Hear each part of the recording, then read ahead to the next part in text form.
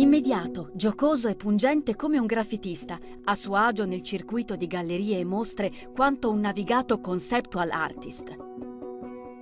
Pierpaolo Perretta, comasco, noto come Mr. Save the Wall, presenta a Milano, da Deodato Arte, un nuovo corpo di lavori dedicato al diffondersi universale della lingua inglese, dal titolo International Language. Il punto di partenza è una domanda shakespeariana. Una rosa e una rose profumano allo stesso modo?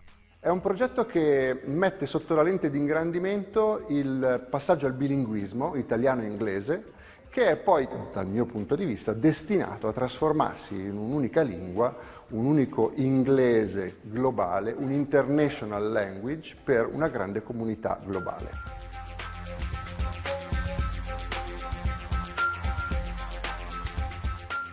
Ho voluto prendere delle immagini e associarle a delle parole con la loro fonetica.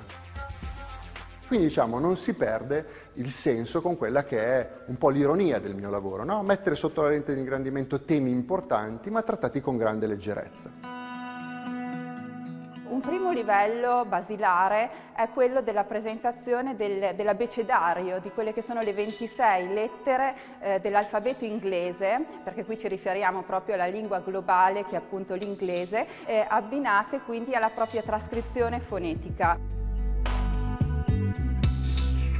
E poi abbiamo 26 parole, eh, 26 quindi oggetti che si riferiscono alle lettere iniziali dell'alfabeto inglese che si ehm, riferiscono in questo caso al mondo poetico dell'artista, quindi al suo vissuto personale. Abbiamo immagini che rimandano al cibo, alla, allo sport, alle passioni principali dell'artista, ma anche eh, a quelle che sono le icone pop utilizzate nelle ricerche precedenti.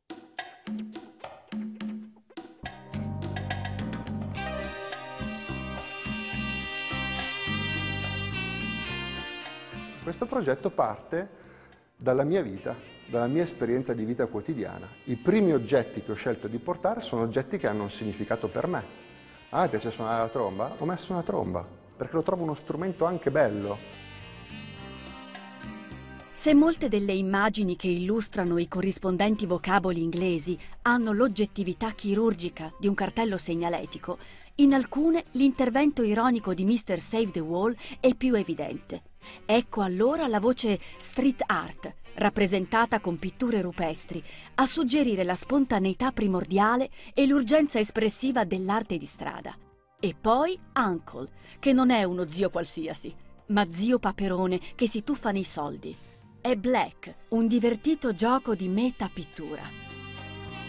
Riflessioni che strizzano l'occhio alla linguistica di De Saussure, esaltate dal rigore del bianco e nero e dai contorni taglienti della tecnica a stencil, appena attenuati da sbavature volontarie e da discreti interventi di dripping in stile Jackson Pollock.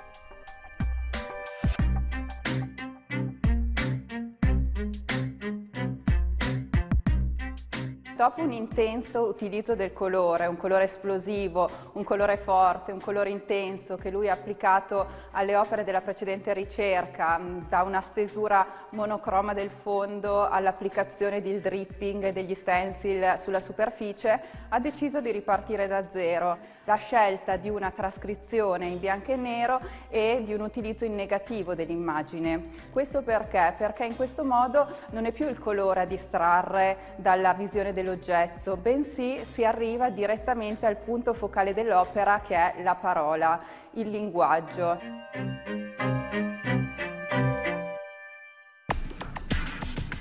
Ammiratore di Banksy e del suo stile incendiario, Pierpaolo Perretta è un ex manager della Confartigianato di Como che nel 2013 ha lasciato l'impiego certo per trasformarsi in Mr. Save the Wall, artista a tempo pieno le cui prime opere hanno fatto subito infuriare il mondo dei writers e dei graffitisti.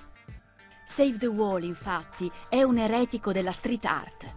Si rifiuta di agire nell'illegalità non dipinge restando anonimo e anzi rilascia interviste. Non disdegna le commissioni di enti pubblici né di vendere i suoi pezzi ai collezionisti.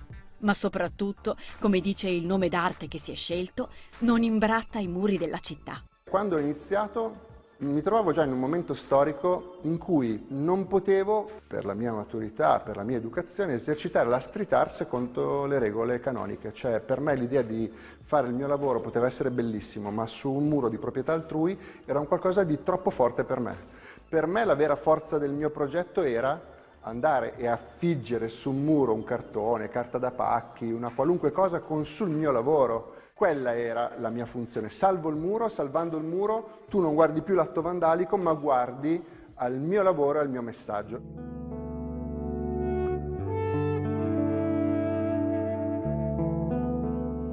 La gente poi ha cominciato a portarli via dal muro, creando tra l'altro una forma di vandalismo inverso molto interessante.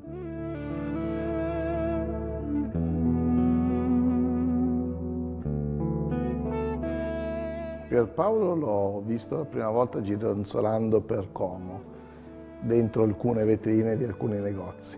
E lì ho visto che c'era un artista che mi interessava.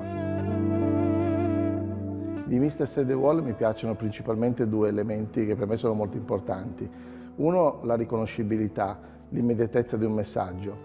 Dall'altra parte, la ricerca, cioè il fatto che comunque dietro ogni cosa anche quella più intelligibile e immediata c'è dietro un ragionamento estremamente profondo.